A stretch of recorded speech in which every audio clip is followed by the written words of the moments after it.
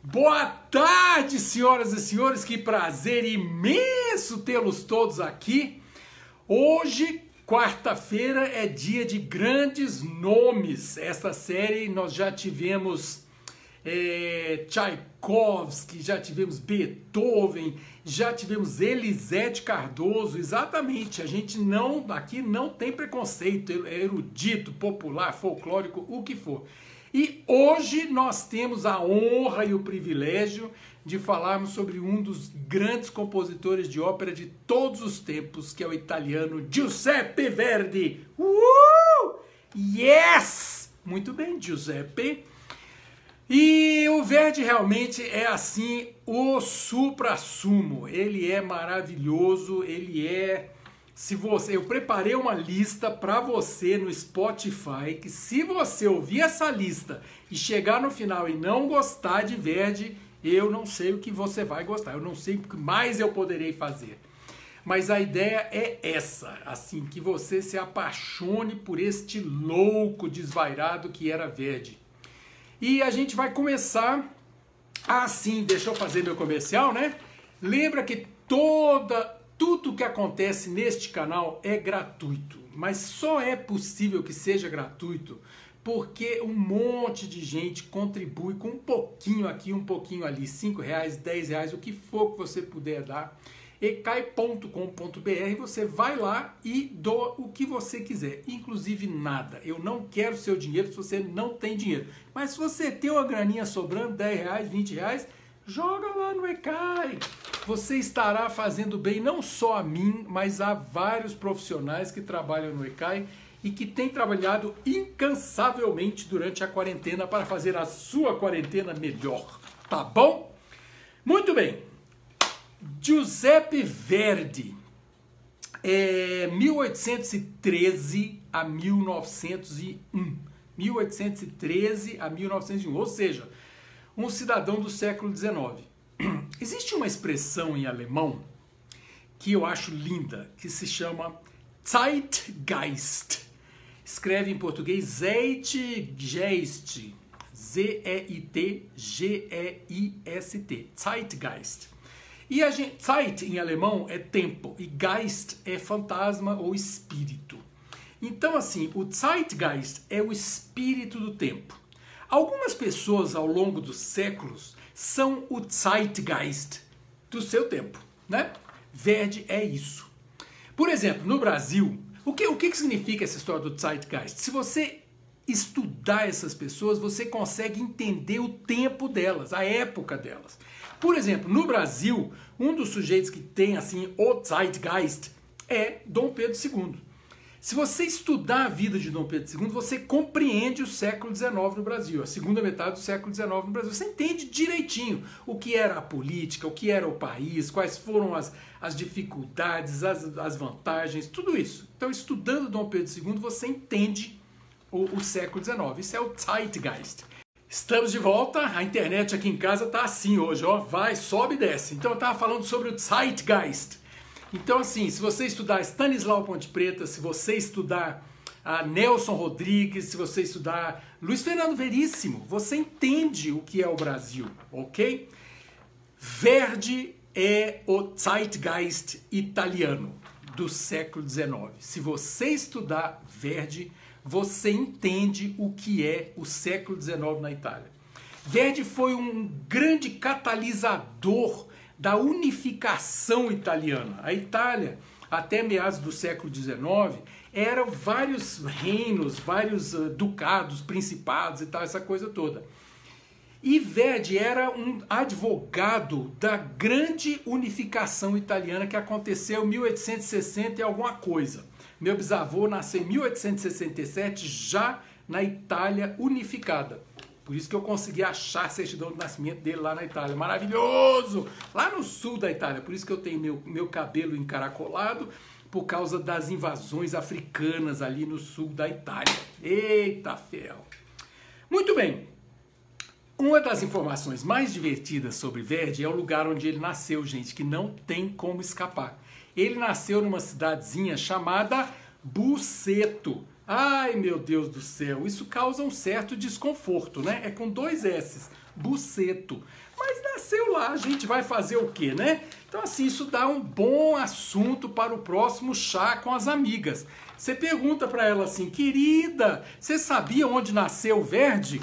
E aí você diz e aguarda a, assim, vai haver um ser, como direi, pode haver um, a pessoa que está lá do outro lado da mesa fala assim, é nonde mesmo? Aí você diz de novo e aguarda de novo. Que beleza, né? Português maravilhoso. Mas ele nasceu lá, gente. É no norte da Itália, perto de Milão. Perto assim, meio perto de Milão. A Itália, para você entender a Itália, você tem que entender que Roma fica mais ou menos no meio, no que eles chamam de mezzogiorno, meio-dia. Então, assim, para cima do Mezzogiorno, para cima de Roma, tudo funciona. É a parte meio alemã da Itália. Para baixo de Roma é a parte meio assim latina da Itália. Então nada funciona. Tem nada. É, é onde está Nápoles, é onde está Sicília, aquele lugar, aquele lugar de comida maravilhosa, de gente maravilhosa, mas assim, funcionar mesmo não funciona, não. É igual ao Brasil, ok? Mas o norte não. Você vai para Milão, o trem diz que vai sair às, às 7h48. Se você chegar às 7h49, o trem saiu. Então, Verdi é dessa área organizada da Itália. E o Scala de Milão não precisa nem falar. O grande teatro italiano de todos os tempos, né? Então você tem você tem lá no norte, você tem Veneza, você tem Milão, você tem Turim, tudo que está lá em cima é aquela parte que funciona, maravilhosa. Eu adoro a Itália, eu sou italiano e assim toda a Itália é maravilhosa, de cima a baixo, com todas as suas idiosincrasias. Não é idiosincrasias, não, gente. É idiosincrasias, tá bom? É exatamente, alguém fala que é o Nordeste deles, é o Nordeste deles com toda a riqueza riqueza do Nordeste, com toda aquela comida maravilhosa, com tudo. É assim, são, são é, é, maravilhoso. É assim, é uma região espetacular, gloriosa, de uma riqueza fantástica. Quer entender um pouquinho mais da Itália do Sul? Assiste Cavalleria Rusticana e Pagliatti, ok? São duas óperas assim que pensa no Sul, ok? Maravilhoso, maravilhoso. Então tá bom. É, Verdi nasce lá, né, nessa cidade, e o Verdi ele é ah, o auge dele é do, de é, meados do século XIX, ok? O auge. Ele vem seguindo uma tradição de grandes compositores italianos da primeira metade do século XIX, Bellini, Donizetti e Rossini, que são três compositores da era do bel canto. Bel canto, eu vou explicar, vou, já expliquei bonito, você assiste é, Lucia de Lammermoor, que tem a ver com bel canto, na, na minha palestra aqui, e o bel canto valoriza a voz. Então a voz vem antes da orquestra, a voz vem antes do enredo, vem antes de tudo. E Verdi segue um pouco essa tradição, só que ele começa a pesar na orquestra a partir da segunda metade da vida dele. Então é bem interessante isso. Ele começa com a orquestra mais leve e ao final ele vai pesando, ok? É, Verdi escreveu 26 óperas com várias variações. Então, assim, por que, que eu digo várias variações? Ele traduziu, então a mesma ópera às vezes aparece com um nome, depois ela é traduzida para o francês e muda de nome e tal. Mas são 26 óperas e suas variações. Compôs algumas canções, compôs algumas peças sacras, e entre elas o Requiem, que é uma missa espetacular que ele escreveu mais para o final da vida. Então, o que, que eu vou explicar para vocês hoje? Hoje a minha brincadeira é a seguinte. É, eu preparei uma lista para você no Spotify, que eu já, já expliquei isso para você, que você vai se apaixonar. Então vai ter o link aqui embaixo no YouTube. Só você clicar nesse link. Todas as palestras que tem lista, tem um linkzinho aqui embaixo. Você clica e vai direto para o Spotify. Algumas pessoas me pediram, puxa, faz no Deezer também, que o Spotify. Gente, eu não consigo fazer tudo para todo mundo. Então eu tenho que escolher uma rede social e fazer nessa. É tudo gratuito. Então, assim, eu não posso fazer mais do que isso. I'm sorry, ok? Mas então, o que, que eu fiz? Eu separei das 26 óperas, eu separei 14 é, óperas, mais o Requiem e o meu desafio foi escol escolher dentro dessas 14 óperas uma, um, um número musical só, para a lista não ficar de 8 horas de duração. A lista tem quase 2 horas de duração. Mas o que eu quis foi escolher um número musical é, dentro de cada ópera, para você poder entender um pouquinho do trabalho do Verdi. E, melhor ainda, porque eu sou uma pessoa maravilhosa, eu botei em ordem cronológica, ok? Botei em ordem cronológica. Então, por que, que eu botei em ordem cronológica? Verdi começa a escrever ópera lá em 1830 e bolinha, ele era jovem, mas ele não conseguiu emplacar as primeiras óperas dele. Ele só vai emplacar a primeira ópera grande dele com Nabucco, que era sobre o Nabucodonosor, né? Depois você vai lá na Bíblia, vai entender o que está acontecendo, ok? Nabucodonosor. E em italiano é Nabucco, com dois Cs. O grande, a peça que eu separei do Nabucco é, Nabucco é Va pensiero sulle dorate. Ei, coisa linda, é aquele coro maravilhoso. E por que que Nabucco foi um grande sucesso? Lembra que eu falei que o Verdi tinha a história do Zeitgeist, do espírito do tempo? Verdi era muito esperto. Ele teve problema com a censura a vida inteira, porque a censura italiana era complicada, principalmente nessa época. Por quê?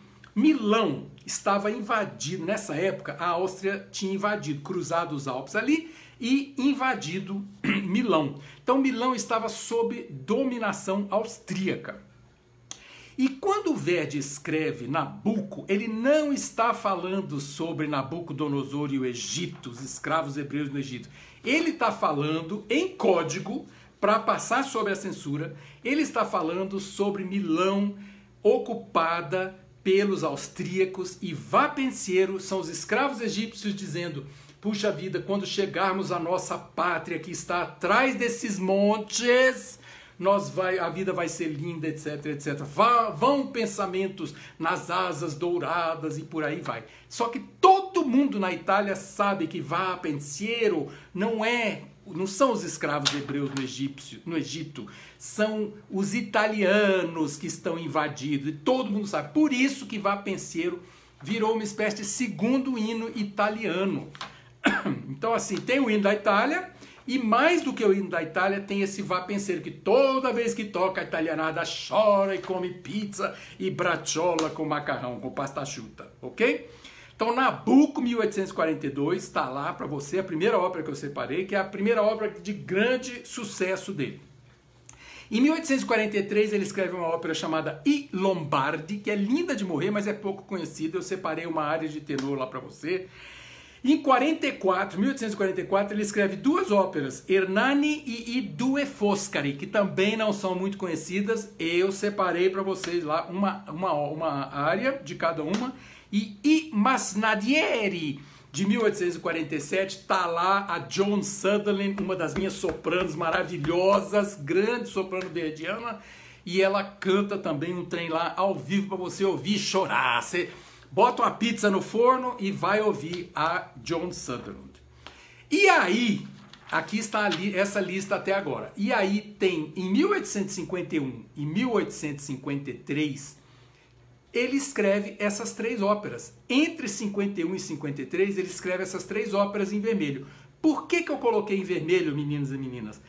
porque elas, elas sedimentaram a carreira de Verdi como o grande compositor italiano de ópera do século XIX, ok? Especialmente segunda metade. Porque na primeira metade a gente tem Donizetti, Bellini e Rossini que dividem é, com Verdi é, a, essa, essa a, a primazia da, da grande composição operística italiana.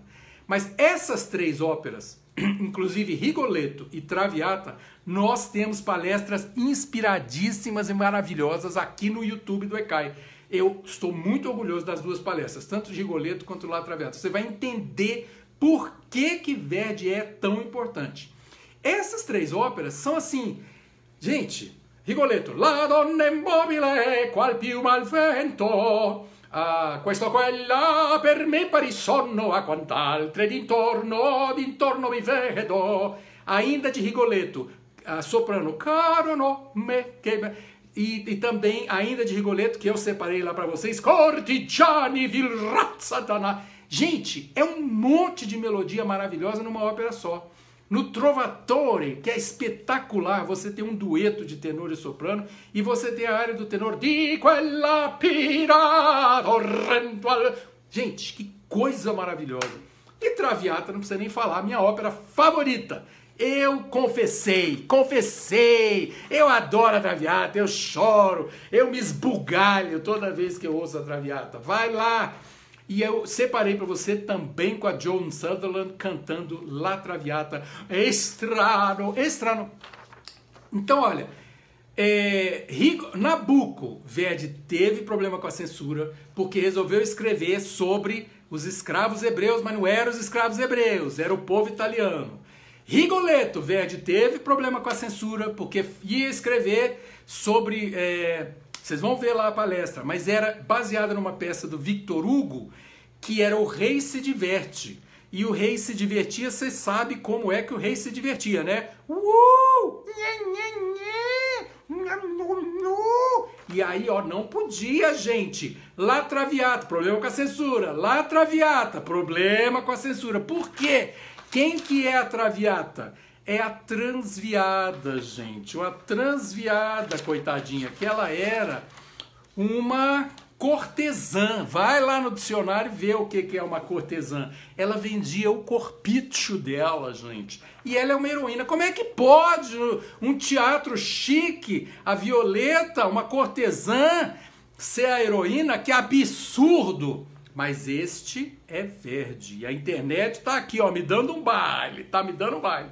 Então, aqui é a primeira metade da minha lista, né? Vou voltar aqui, pode congelar aí a imagem, ó. Ah, brinquei com você. Que...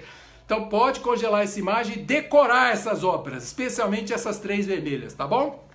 Muito bem. Aí a segunda metade da lista eu vou mostrar rapidamente para você aqui, que ó, Balo e Máscara, Força do Destino, Dom Carlo, Aida, Requiem, Otelo e Falstaff. Daqui a pouco eu mostro de, mostro de novo essa lista. Balo em Máscara, que é o baile em máscara, é das, dos maiores problemas que Verdi teve com a censura. Olha que, olha que coisa interessante. Verdi escreveu uma ópera é, chamada Gustavo III. Eu acho que é isso, gente. Eu posso estar enganado, porque agora eu estou ao vivo, eu estou live, aí eu fico nervoso. Mas ele escreveu uma ópera chamada, eu acho, Gustavo III, que era, por acaso, sobre o assassinato de um rei sueco.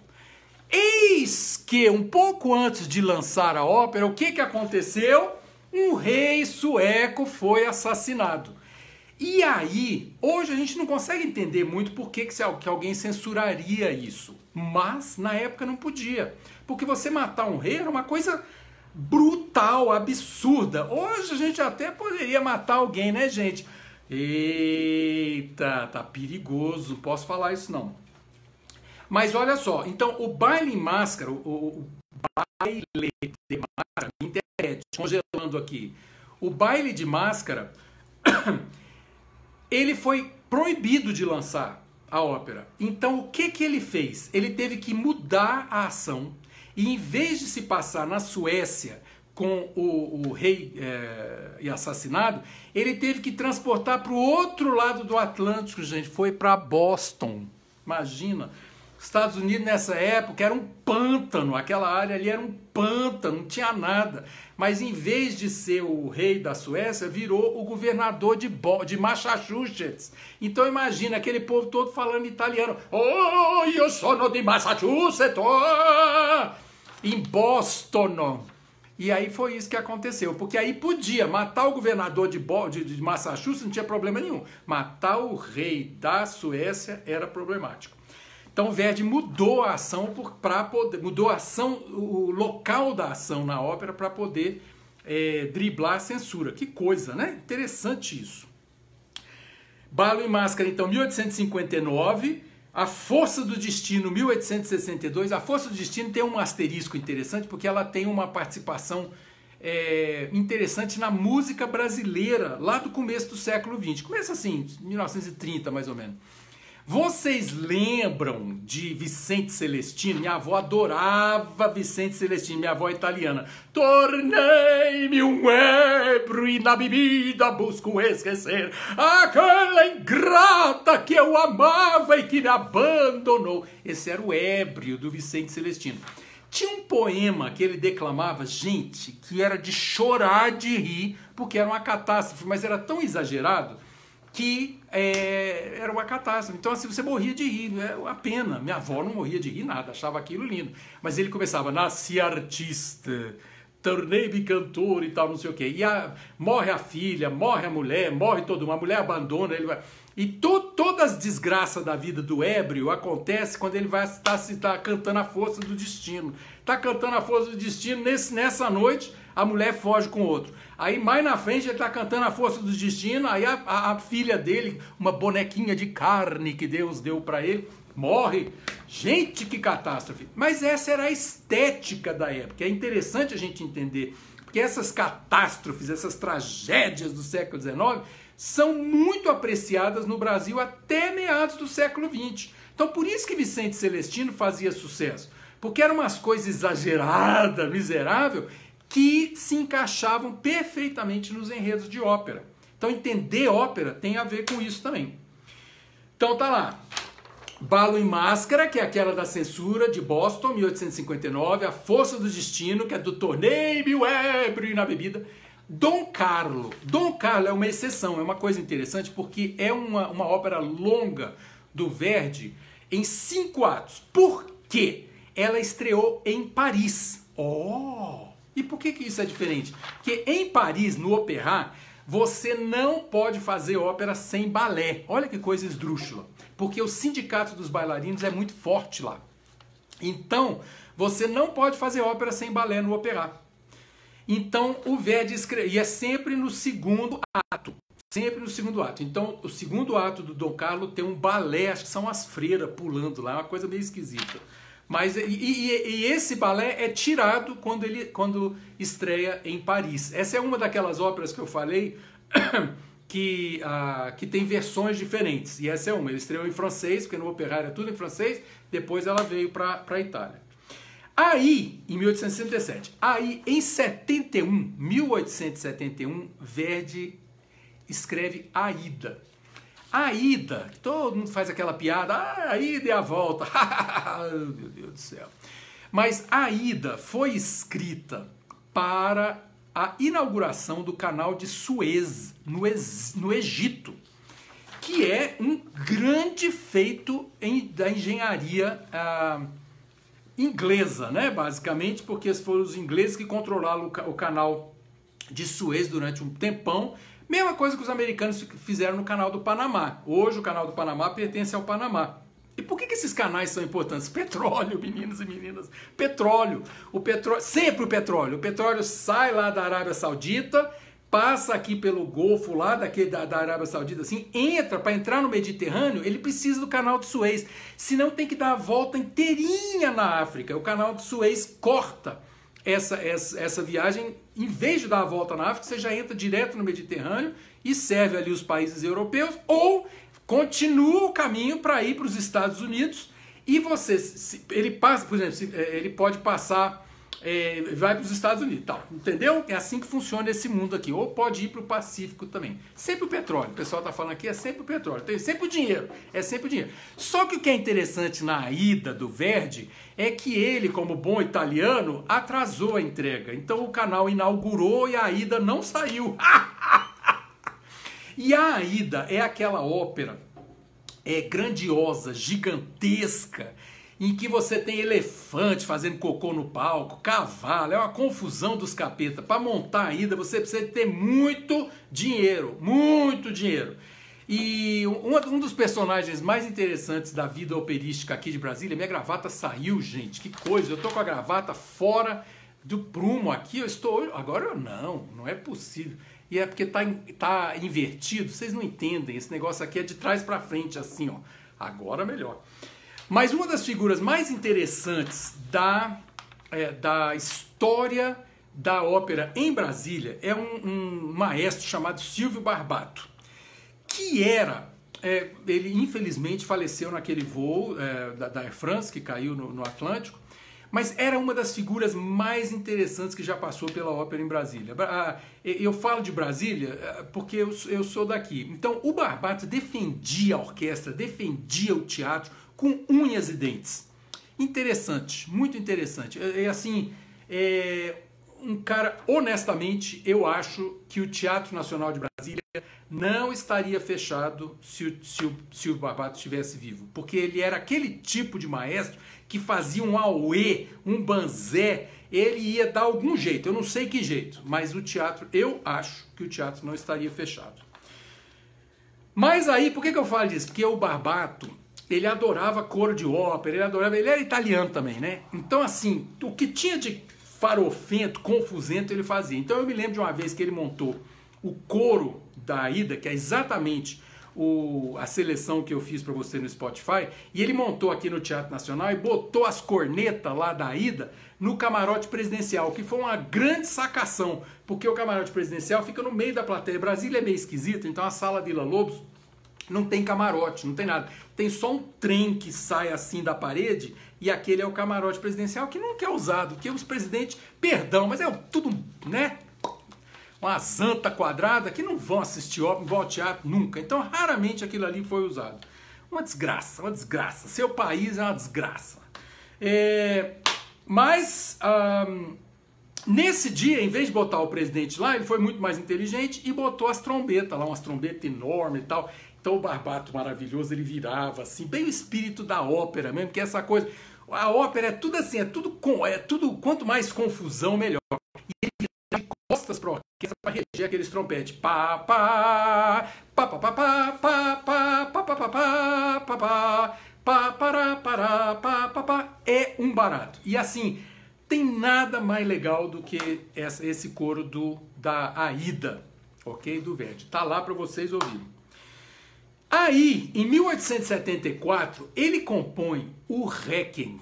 O nome completo é Missa de Requiem, que em italiano é Messa di Requiem. O Requiem dele é espetacular, são sete movimentos, é, mas assim, gente, que coisa espetacular. É uma ópera, é uma ópera não encenada.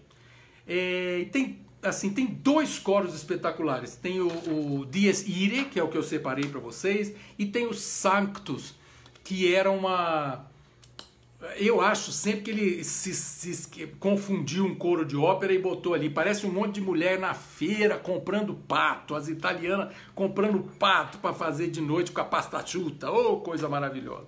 Mas o Requiem tá lá, que ele escreveu em 74. Depois ele passou um tempão sem escrever nada. Tempão sem escrever nada. Mas escreveu Otelo, que aqui está em italiano, em inglês é Othello com TH.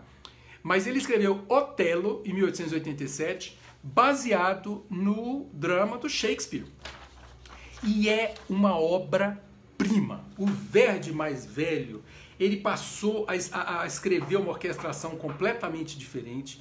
É uma coisa maravilhosa, vale a pena. E eu separei para vocês o dueto Già nella notte densa com Pavarotti e a John Sutherland. Gente, que coisa maravilhosa.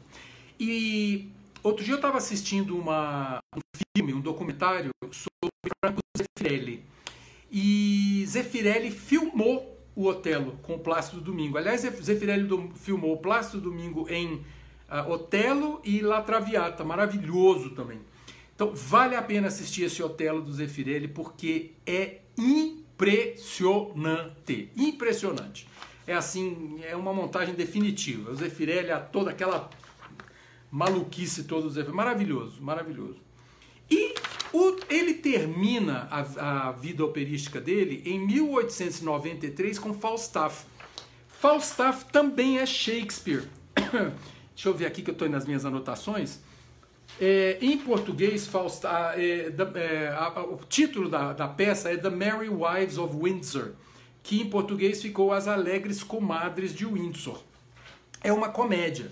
Então é curioso que Verdi termine a vida operística dele com dois Shakespeare, Otelo e Falstaff. Além, claro, do Requiem. Então, assim, é, é, a partir de 1874, ele escreve coisas pesadas mesmo. Muitos dizem que ele estava influenciado e invejoso de Wagner. Então, assim, já tem uma, uma característica muito mais densa. A harmonia é muito mais rica. As orquestras eh, têm preguiça de tocar um pouco o Verdi antigo, o Verdi de Rigoletto, Traviata, por exemplo. O público adora a Traviata, né? Mas a orquestra, por exemplo, Libiamo, Libiamo, Neglieti, Calice, a orquestra fica só fazendo bom, bom, bom, Aí eu vi com tchan, tchan, tchan, tchan, tchan, tchan, tchan, tchan. Então a orquestra não é muito, assim, é bom para cantar, mas a orquestra não é toda a orquestra que acha divertidíssimo tocar Verdi, não. Exceto o Verdi mais velho. Aí a partir do Requiem, que é Requiem, Otelo e Falstaff, aí o cara tava com tudo. Verdi morreu em 1901 e ele, aquilo que eu falei de que ele era o Zeitgeist italiano, um espírito do tempo da Itália, não há dúvida. Verdi era ateu, olha só, num país italiano, naquela, naquele país católico daquele jeito, Verdi era ateu. Verdi se elegeu senador, depois largou mão desse negócio. Verdi era fazendeiro lá em Buceto, gente. Ele tinha uma fazendinha lá em Buceto e ele, e ele plantava, acho que era pepino, mas assim, era fazendeiro, ele curtia muito a fazenda dele. É, então assim, ele além de tudo, ele, assim, ele conseguiu armar a vida dele de um jeito que dava tempo para ele viver mesmo, ok? Uma vida amorosa muito rica. E quando ele morreu em 1901, ele pediu, como ele não era é, religioso, ele pediu que não houvesse música, ele pediu que não houvesse missa e ele pediu um enterro simples. Foi um enterro simples, com pequen o pequeno detalhe de que 300 mil pessoas se apinharam nas ruas de Milão para acompanhar o cortejo de Verdi até o túmulo dele. Eu, fico, eu sou italiano, tem jeito, eu começo a ficar emocionado, não tem jeito. Mas imagina 300 mil pessoas naquela época, 120 anos atrás. Então, assim, ele, ele foi enterrado com simplicidade, que ele pediu, mas com a gratidão do povo italiano que via ali, naquele homem, a alma da Itália sendo enterrada. E é uma beleza muito grande, porque Verdi realmente, tanto quanto a pizza, tanto quanto o macarrão, tanto como a Capela Sistina e, todo, e tudo que a Itália é, aquele país maravilhoso dos meus avós, Verdi personifica essa alma italiana, o Zeitgeist italiano do século XIX. E ele foi fundamental na unificação italiana. Então, Meninos e meninas, é isso, Verde. Agora vão ouvir lá a lista, tá bom? Foi um prazer imenso ter estado com vocês hoje. Amanhã eu vou entrevistar Ricardo Amado, que é o grande espala da Orquestra Sinfônica do Teatro Municipal do Rio de Janeiro. Estou muito feliz que ele aceitou fazer essa entrevista. É, e na sexta-feira eu vou falar sobre o Capriccio número 24 do Paganini, uma obra muito interessante, vocês vão entender por quê, tá bom? Um beijo enorme para todo mundo, gente. Boa noite e até